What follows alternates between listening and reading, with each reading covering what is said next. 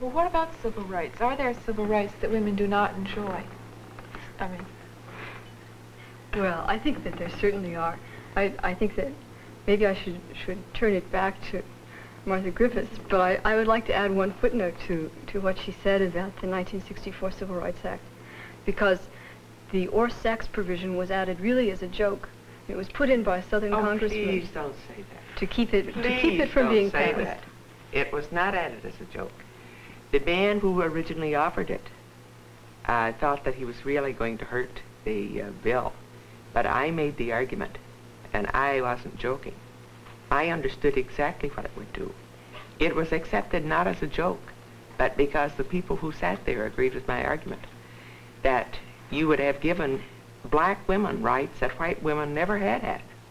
Now, I didn't make the further statement, which I think was quite true, that no one who brought that bill to the floor had ever considered giving any wo- woman any rights. And the truth is that black and, women, uh, and white women got those rights together.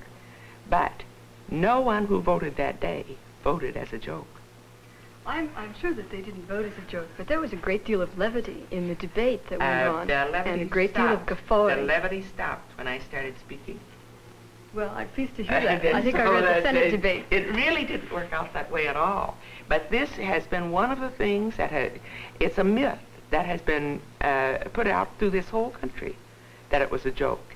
And every woman who says it again and again really aids the Supreme Court in making a very erroneous just, could you just document a little bit just what um, the civil rights status of women was before and after?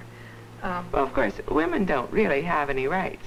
The 14th Amendment has never been applied to give women equal rights, equal protection under the law. Uh, she doesn't have any rights. The, only the right to vote and the right to hold public office.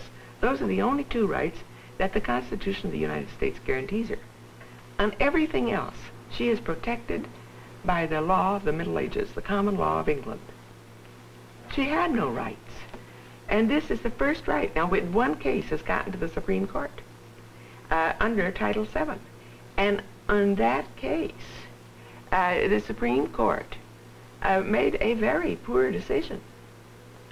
could you elaborate about the case? Well, the case uh, was a woman who applied to Martin Marietta. Uh, in, I believe she was in Florida. She had five children. Uh, they told her that they would not uh, take a woman who had uh, children under the age of six. It was a $3 an hour job. But they admitted in court that why they, of course, they wouldn't think of asking a man that question, that the man that they hired did have children under six. Now, this was a clear case of discrimination. And the Supreme Court, in its decision, sent uh, the decision back to the lower court for further information as to whether or not women with children under six were good employees. What kind of nonsense is that?